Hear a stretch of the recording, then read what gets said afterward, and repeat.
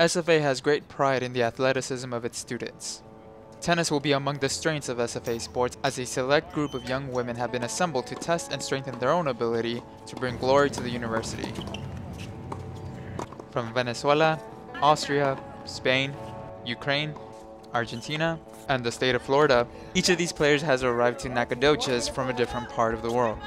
So it's it's kind of fun being on a team where every single person comes from a different place. You learn so many different things, and uh, the language is also something that's pretty fun. Like getting to hear other people talk different languages in between themselves, and so it's it's pretty fun.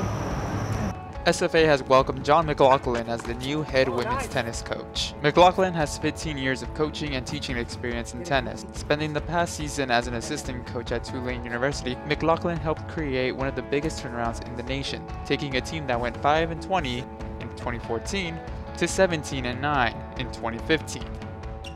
It's safe to say that McLaughlin's experience only further ensures the success of each player individually when it's no longer off-season. Today, the players will have only one more session together. If it's not going right, you have to push through. Mm-hmm. That's basically one of the main things I learned. And also, I learned how it is to be in a team.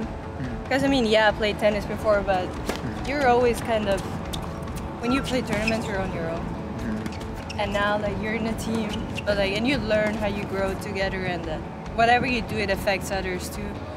So, these are basically, I think, the two main things. These women look to each other to better themselves through training and communication.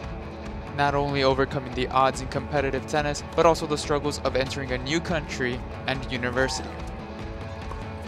Eh, mi experiencia ha sido increíble. La verdad que desde, desde, el primer momento que llegué, la gente se porta súper bien, son súper afables, cariñosos. Si no entiendes una cosa, siempre están dispuestos a traducirte o hacer que te entiendas las cosas. Y el equipo es genial, el equipo es increíble, o sea, son todas increíbles y me, me gusta mucho, la verdad. For traditional small town in East Texas, Nacogdoches always has room for new cultures to be welcomed and celebrated through SFA. And it appears that SFA's women's tennis has a bright future to look forward to.